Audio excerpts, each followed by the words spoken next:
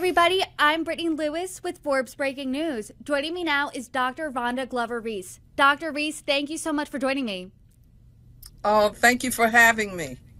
Of course, and you have such an impressive resume. You served in the FBI for over 30 years, and now you're a law enforcement coach. So you are the perfect expert for this story. I'm excited to get your expertise here on some big news.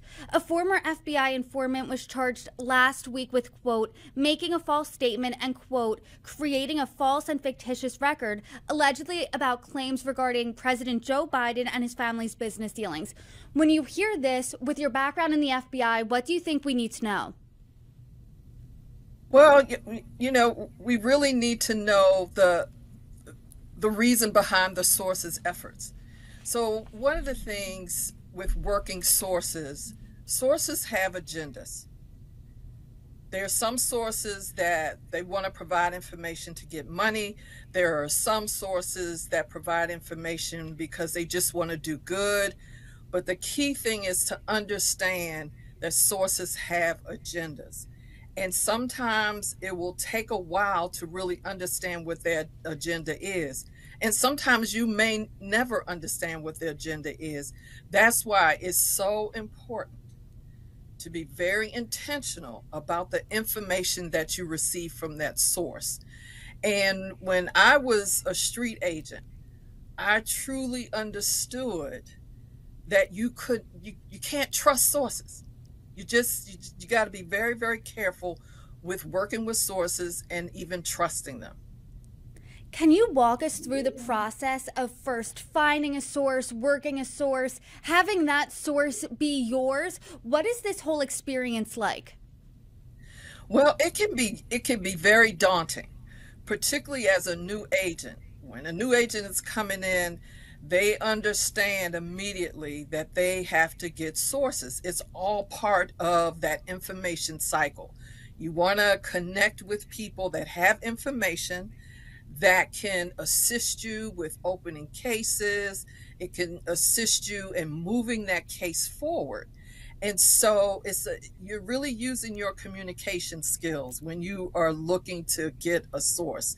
There are different ways that you can get a source. You can connect with a senior agent that has numerous sources and he or she just, you know, they're source heavy. They have too many sources to work because they have other cases. And so they may be interested in having you co handle that source with them so they could pass that source on to you.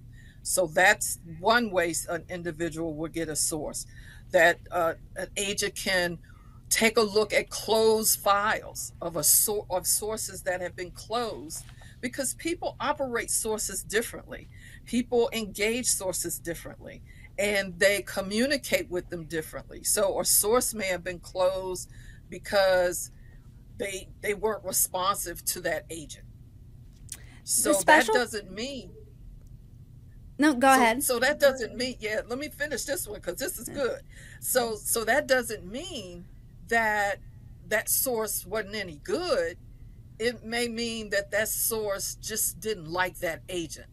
And so going to close files and looking to see whether there are, there are other sources available to connect with, that's one way of getting getting a source. I'm interested about what the barometer is here to judge a source. How do you know if a source is good? A and B. The uh, the special counsel counsel says that this informant uh, made false statements was essentially lying. So when you're working a source, how do you parse through what they're saying and how do you tell, hey, that's a false statement and separating that from the truth? Well, first of all, I never trusted sources and the agents that I worked with and agents that mentored me and my supervisor you don't you don't you just don't you don't trust them. You get the information you write it up and you work it. You work that information you dissect it you vet it and you work to see whether this information is credible. So you're not going in accepting that information. That's a bad way to go. You have to you, you take the information, you dissect it, you do you do your due diligence to determine whether this is good information that can lead you to open it open a case or just lead you to different areas where you can you could talk to other agents about it you know hey i've got this information. Have you heard about this before? Or there's so many other things that you can do but the key thing is don't don't don't trust them don't trust them that is a really interesting takeaway here that from the jump you're saying hey don't trust a source. I don't trust a source. This specific source was charged with making a false statement and creating a false and fictitious record. Are these serious charges, or rather, how serious are these charges? Well, they're, they're very serious because this source was told many times don't lie. Don't lie to us because you, you could go to jail for that. You could get in trouble for that. And so this source knew going in what what he was doing. He knew exactly what he was doing. He knew he was take he was taking a chance and and and providing providing that information. And so the the the agents they did they did the work. They looked to see what what was this information they were sharing, and they were like, "No, this is this isn't it isn't good. Everything we're seeing right now, there he's been indicted so there's information that demonstrates that he was definitely not telling the truth. I am curious about how often something like this happens because you're saying you don't trust them a source at all, but how often are they lying to the FBI? Well, it's really it's really hard to say. It's really really hard to say when a source is lying. Uh, you, it, that's not any. That's not the type of uh, information that I would be privy to. But I know that when I was on the street working sources, I knew that I had to be, you know, you had to trust. You could you could trust, but you had to verify. And that's the same thing. You just don't trust them. You had to verify the information that they provided. And if it didn't match up, you continue to have you continue to open sources. You continue to get sources that are in alignment to what that other source is providing. And that's how you vet it. That's if you have a couple of sources, they're saying the same thing, and those sources don't know one, they don't know one another, then you start to think, okay, there might be something here. Let's keep going. Let's keep digging. Let's look at the intelligence that we have already. Let's ha- let's have a conversation with our law enforcement partners to see what what are they seeing? What what are they hearing out on the streets? What what what's what have they been exposed to? So there's so many ways that you can really take information and dissect it and just see whether it's making sense. But I, it goes back to you have to be very very careful about obtaining information from sources and understand going in that they're not, they're not they're not adhering to the mission that you're adhering to. So the FBI's mission is to protect the American people and uphold the Constitution. That's not the source's mission. The source's mission is, is they just they want to get paid. Most sources they want to get paid. They know that they can get get get a few dollars, and that's what they're doing. And then you're going to have some sources that say, you know, I don't want any money. I just want to share information. I, I, I love what the FBI is doing. I love what law enforcement is doing. And I'm seeing things out on the street that I just don't like. And I'm, I'm, I'm, I'm hearing this, this information and I want to share it with you. But they want to be anonymous. They want to stay in the background.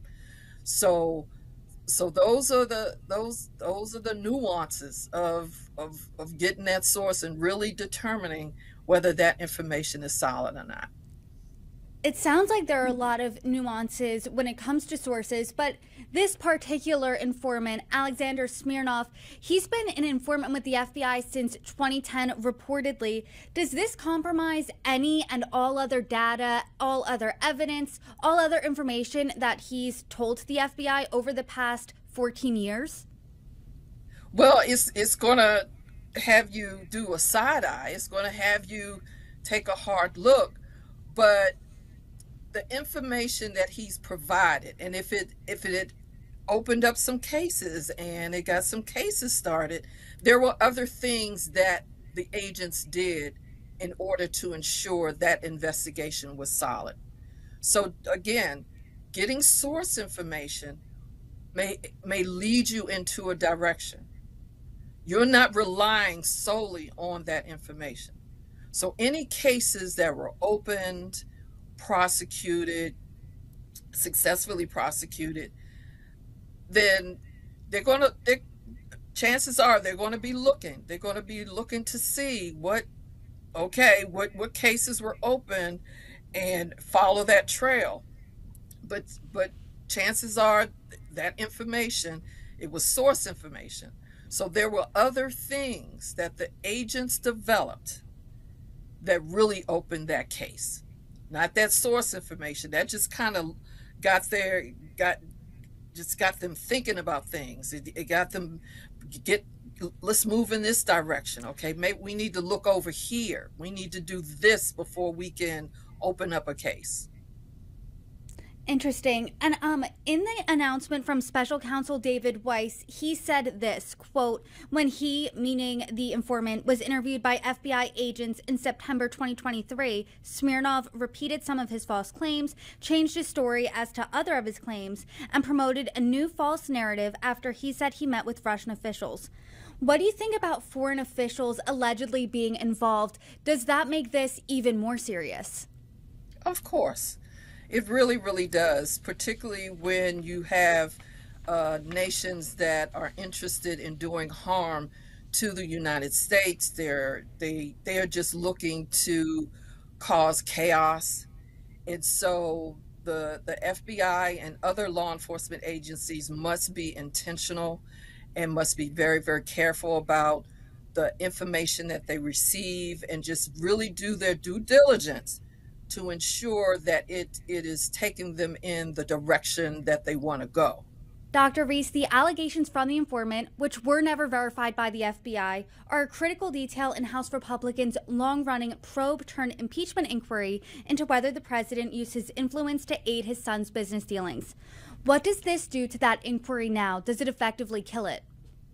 It doesn't kill it. I mean, if if if they have additional information then it could very well continue.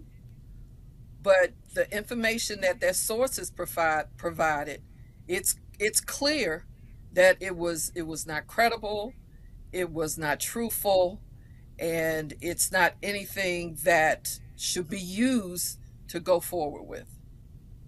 As someone who's been an agent, as someone who's worked with sources from first finding them all the way to fruition, what do you think then is missing from this conversation?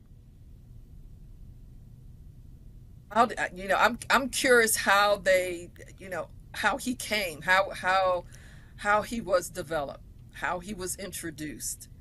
Um, so, you know, the backstory. What's the backstory of the source? I'm always curious. What's what is what is the backstory of the source? Where's the source coming from? And and and a, there's a lot of information that's being revealed about this source's background, his connections, and um, his financial status. All those things are are coming out, but it's the it's it's always understanding the agenda, understanding and being clear on what's what what do they want out of this what's what's their what's their goal? And in your experience have you ever seen a source be a good informant for years and then suddenly become less credible after? Well what i've what i've seen is that sources dry up. They run hot and cold. So one year they may be providing some really good information, some really good intel that can really, really help the help you understand what are the threats, what's going on in the community, what do, what do uh, uh, law enforcement, what what does law enforcement need to look out for, and then that source may dry up. That source may lo- no longer have access that source may decide, you know what, I don't want to do this anymore. I I I just I just don't want to do it. That source may decide that you know they no longer want to work with that agent. You know they so so you so with sources you have to really really massage them really it's it's it's it's a dance it's really connecting with that source getting to know that source you can't just call a source once a month and think that you're going to build that relationship. And I know as a as a, as a as a supervisor and leader in the FBI before I retired, I would tell the agents I worked with, you have to build the relationship because as as a supervisor i had to make sure that they were engaging with these sources. Because if they weren't engaging with the sources they're not talking to the sources they're not getting the information. And so if the agents aren't getting information from the source then close the source. Or pass the source on to another agent who's willing to do the work to nurture that source to get to know that source. Because you have to understand this is a this the source is a human being. And so you have to be engaged with them. And they have to get to know you. And you want to get to know them. And that's how you really determine whether you feel comfortable with that information even though you have to be careful about their trust factor, you still want to be comfortable with them.